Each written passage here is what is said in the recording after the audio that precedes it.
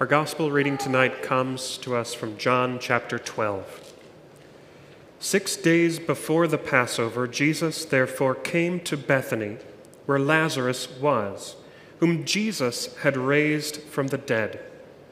So they gave a dinner for him there. Martha served, and Lazarus was one of those reclining with him at table. Mary therefore took a pound of expensive ointment made from pure nard and anointed the feet of Jesus and wiped his feet with her hair.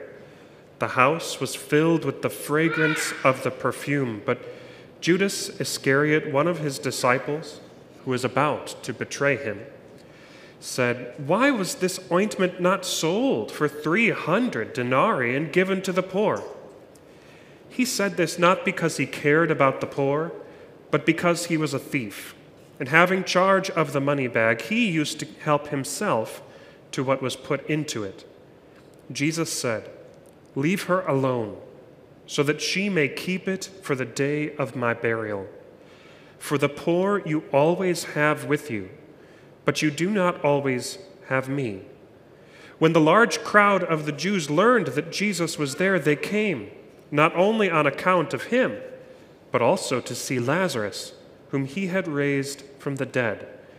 So the chief priests made plans to put Lazarus to death as well, because on account of him, many of the Jews were going away and believing in Jesus. This is the gospel of the Lord. Praise to you, O Christ. Grace, mercy, and peace be to you from God our Father and the Lord and Savior Jesus Christ. Amen. Today I have a, an unorthodox beginning to this message. Have you, have you heard that Marie Kondo is done with perfect tidying? Does everyone here know who Marie Kondo is? Some people are nodding.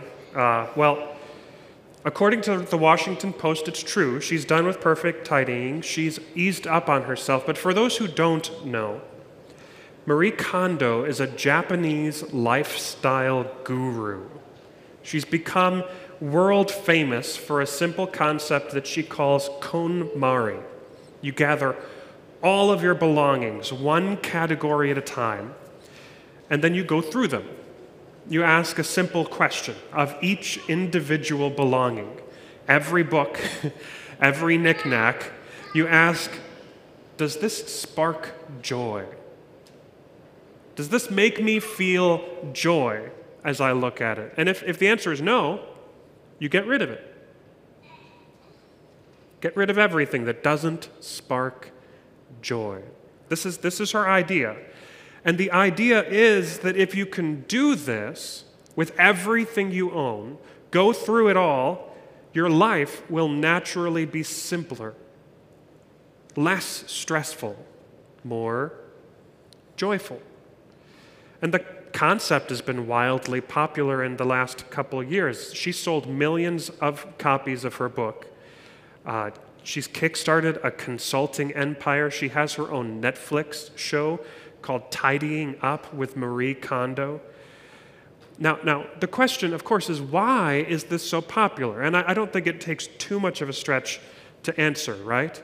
Because our lives are so full of stuff our homes probably are each quite full of stuff. And I would hazard a guess that your home is not full exclusively of stuff that sparks joy in your life. And as your life and your house gets more full of stuff,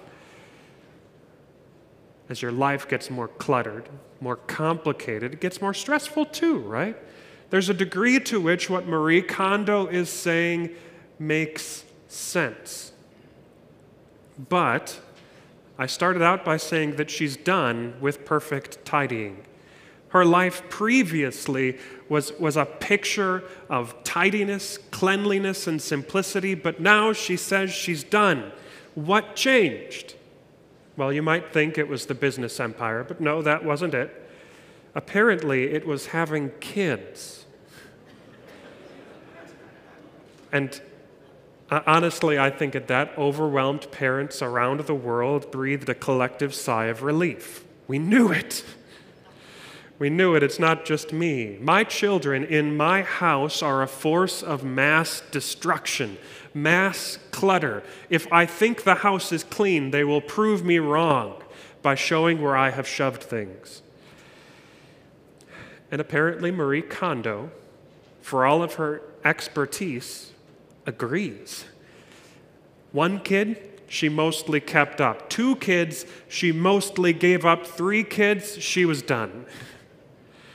Now, now she says that she takes joy not only in the simplicity but in of possessions but in doing things she loves and she has a whole new th- mantra to live by and a whole new idea to sell but today we're not here to talk about marie kondo we're here to talk about mary mary now again there's several marys in the bible but today we're talking about Mary, who is the sister of Martha and the sister of Lazarus. Lazarus, that, that Mary who sat at Jesus' feet while Martha worked. We're talking about the Mary who, and the Martha for that matter, who said to Jesus, If you had been here, my brother would not have died. And who watched Jesus raise her brother from the dead. It's this Mary who, in today's reading pours out that ointment, that perfume upon Jesus' feet. Now, Mary might not be a lifestyle guru. I have a feeling that, that she hasn't got a consulting empire. She hasn't sold books that have her name on the cover. But she does have a, a, an important lesson for us today. After all, in both Matthew and Mark, Jesus says of Mary's actions, wherever this gospel is proclaimed in the whole world, what she has done will also be told in memory of her. Why is it that Mary's actions are told everywhere the gospel is proclaimed? Well, let's look back at the story to find out. Now, sometime after Lazarus has been raised from the dead, in the midst of fierce Pharisee criticism and even plots against Jesus and Lazarus' life, Jesus is invited to dinner with Mary, Martha, and Lazarus. We're told Lazarus is reclining at table with Jesus. As if it's a joke, John says that Martha is serving. Mary, however, is doing something else, something different, something amazing. She takes a jar of expensive ointment, nard, pure nard, and she pours out this upon Jesus' feet. And, and so much is poured out that it fills the house with its fragrance. And, and at this, we're told Judas Iscariot, one of Jesus' disciples, you probably have heard of him, Judas is furious. Judas asks, Why was this ointment not sold for 300 denarii given to the poor? At this point, John lets us in on a secret. Judas doesn't care about the poor. No. Judas doesn't care about the poor at all. In fact, Judas was kind of like a treasurer in Jesus' ministry, but, but he'd been abusing his position of power to steal from Jesus and the disciples' own money bags. And, and this guy, this guy has the audacity to criticize Mary's gift. Now, before we go on, note the contrast which John has set up in the way that he's written this gospel story. The contrast between Mary and Judas. Mary gives. Mary gives so abundantly, as, as, as Judas points out very rudely, Mary gives extravagantly. The perfume she's purchased and poured out on Jesus' feet was worth a year's wages. I know we live in a culture that values experiences more than stuff. But can you imagine pouring a year's wages on anyone's feet. I, I certainly cannot. What a sacrifice. What a gift. How many other things might she have done with that money? How many other things might she have purchased which, which would spark joy in her life? But Mary acts as if none of that matters.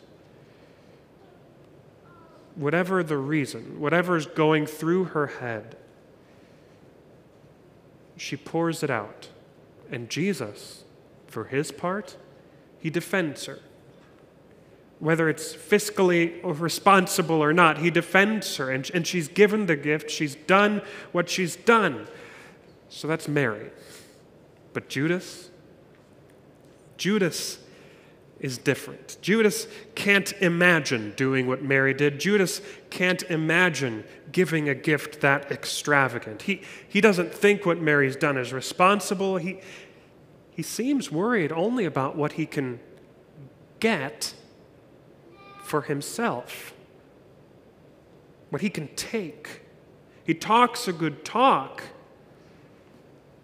but he does so for selfish reasons not for any, not for the reasons he's implying. And Judas, Judas' greed, this desire to get, this need for more, well, we know where Judas' greed is going to lead. Judas' greed is going to kill Jesus and himself. That that is the contrast that we're given. But then why? If there's this sharp contrast, is it that Mary's gift is going to be celebrated, told and told and shared again, proclaimed anywhere Jesus' gospel is shared? It's not just that Mary is a giver or an extravagant giver, and Judas is not. It's because this action, Mary's action, is such a beautiful microcosm of the gospel itself. Mary was not the only one in the room who knew how to give extravagantly or to give sacrificially, for that matter. As we well know, Jesus was a giver and a good one.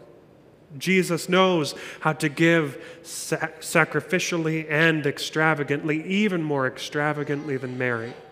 For what gift could be more extravagant than eternal life and forgiveness of sins?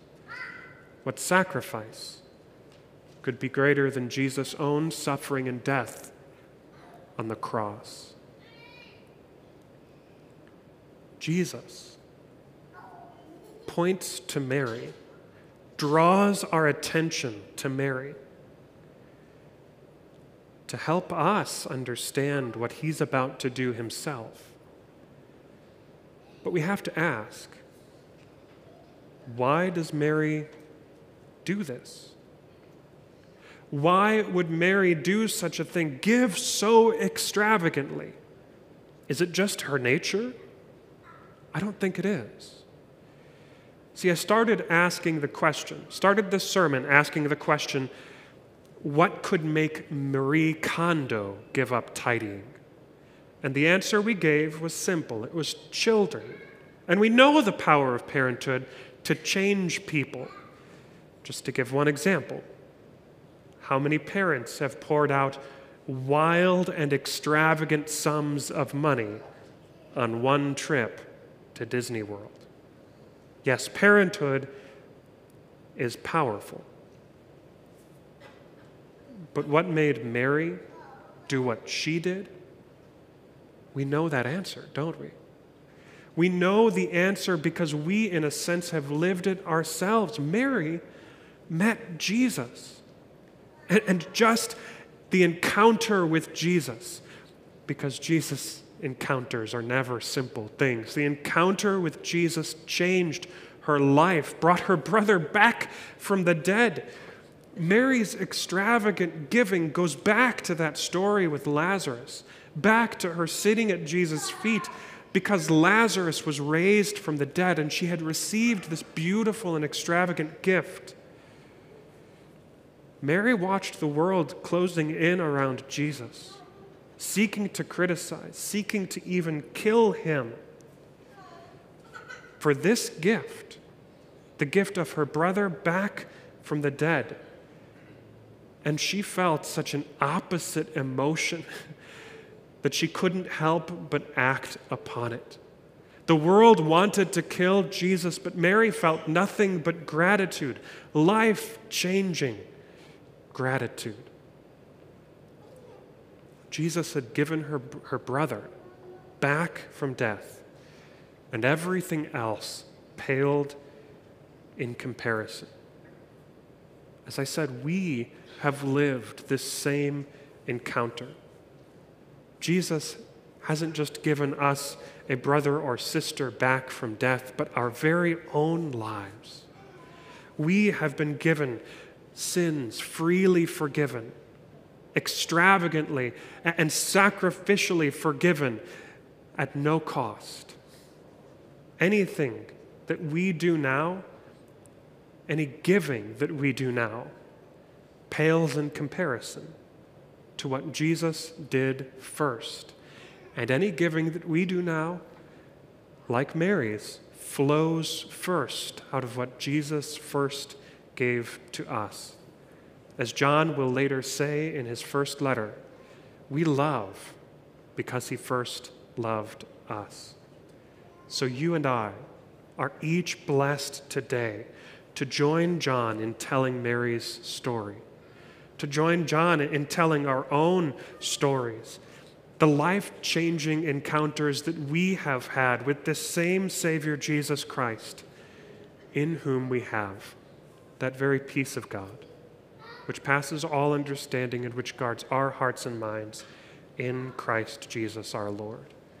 Mary was a witness to Christ.